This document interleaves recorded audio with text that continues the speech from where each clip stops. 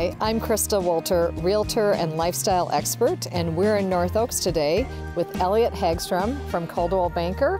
And Elliot, it was just two short years ago that we helped Damien and Chris sell their home so that they could move forward with their new project and build on this beautiful wooded lot. Yeah, believe it or not, last time I was here was actually the groundbreaking ceremony. So I'm excited to find them and check out the progress.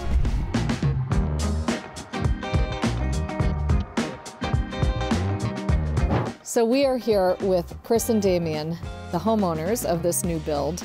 And Chris and Damien, tell me, what was important for you to include in your new build? So my dream was to find a lot that my house will face south because I love the brightness and I really love the warmth of the south. For me, it was also about nature and environment. So the sun uh, is important, but that's why we wanted to be energy positive too.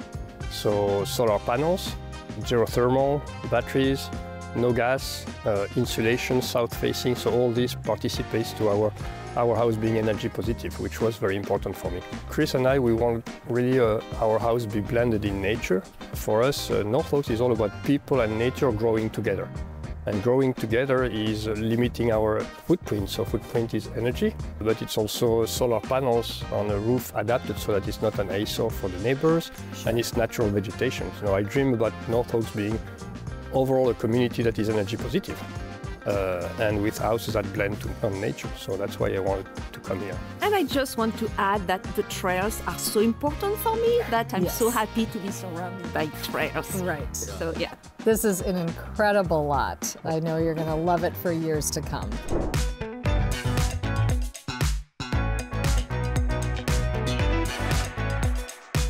We're here with Peter Hagstrom of Hagstrom Builder. And Peter, you know, I, we just love how the home and, and progress is coming along here. It's so fun to, to see. We want to hear from you some of the unique details of this house. and- Yeah, and the absolutely. The thing unique about this house, it's all electric.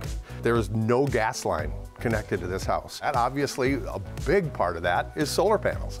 And it's just been a great thing working with Cedar Creek Energy, implementing, designing, um, coming up with the appropriate amount of panels to be able to accommodate uh, the house. We were able to kind of tuck them on the back barn. And we'll, let's uh, go take a look.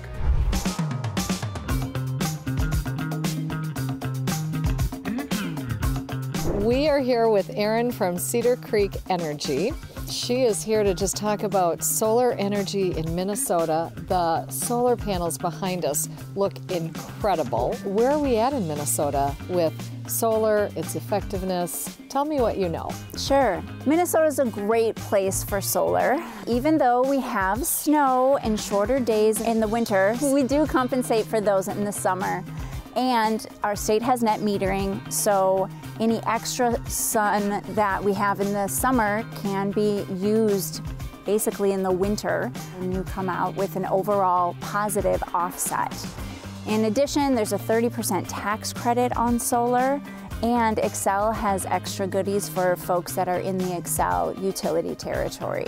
One of the biggest points right now is when I look at the solar panels behind us, they are beautiful. Solar seems to have come a long way in its look. Absolutely. So the panels are now all black. They really blend in well with a dark gray shingle that is used really uh, frequently on new builds as well, but they look amazing on the standing seam steel as well.